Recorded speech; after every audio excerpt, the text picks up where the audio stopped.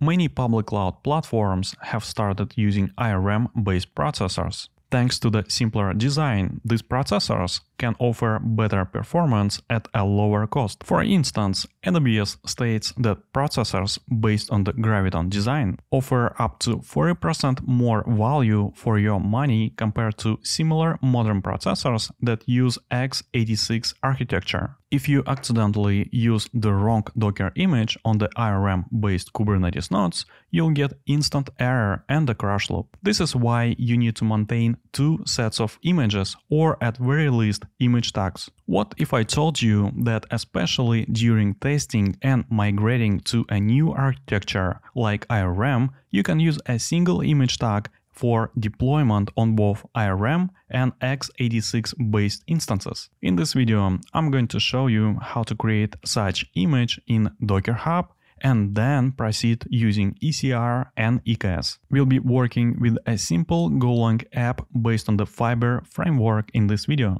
If you're interested in following along, you can find the source code in my GitHub repository. To maintain backward compatibility with Kubernetes, many images like pause had a suffix indicating the target architecture. Let's get started with Docker Hub. First, create image repository for the AMD 64 based architecture. If it's a public image, this is optional step and you can simply push it. Next, create another image repository for the same application but for the ARM-based architecture. Now we have two different repositories. The first step is to build Docker image. To specify the target architecture, you can use platform flag. Let's also build the second one for the AMD 64 platform. If you list the images, you'll see that you now have two of them each with different image ID and size. Before we can upload Docker images, we need to authenticate with Docker Hub using docker login command. Alright, now push the first image. And the second one. Up to this point, we followed the same process as you would normally would to push images. Here is where things differ. Now we can use Open Container Initiative OCI repositories. These support multi-architecture images by creating manifests. Docker has introduced experimental command called docker manifest to manage them. Using this is very straightforward. You need to create a manifest as you can see without any architecture suffixes and list all images with different architectures under that manifest list. In this case, Fiber v1 manifest will contain both images for AMD and ARM based architectures. We can use inspect command to get a list of all images in that manifest. For instance, here we have two images.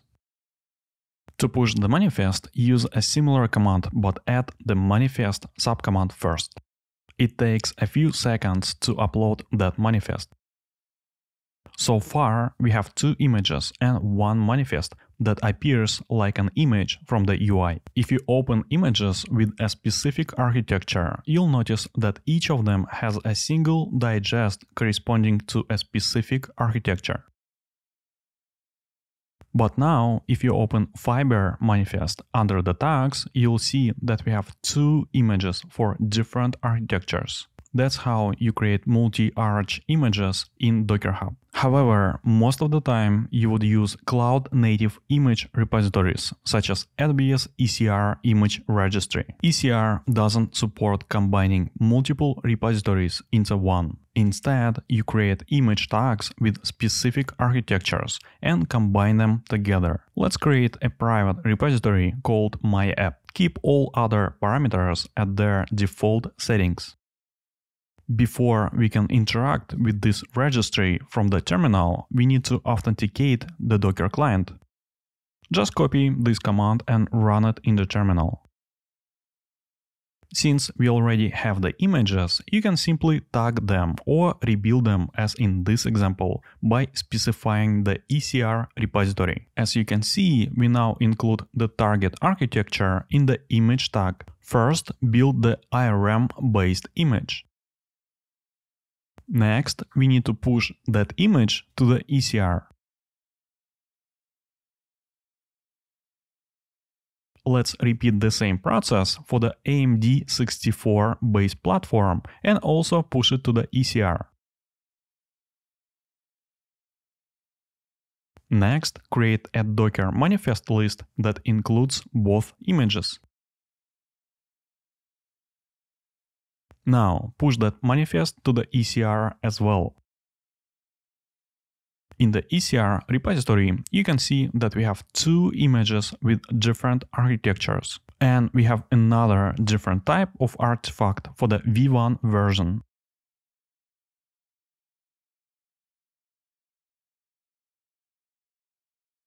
Just in case you want to reproduce this example, I have EKS Terraform code to bootstrap the cluster. Here I have two nodes that use traditional 86 architecture and one node for the ARM based nodes. Having different number of nodes makes it easier to notice the difference. So far we have three Kubernetes nodes, I also included a deployment object that has three replicas, and since we use pod anti-affinity, they will be distributed across all of the nodes, similar to daemon set. First, let's try to deploy ARM-based images to all three nodes. You can use kubectl describe node command to check the node architecture.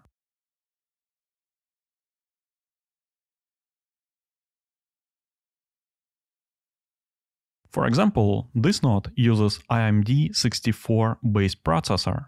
Alright, let's go ahead and apply deployment.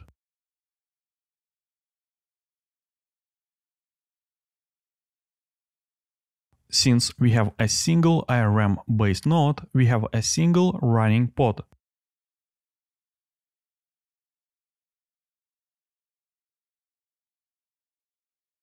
So if you deploy the wrong image, you'll get this error most of the time. Now let's clean this up.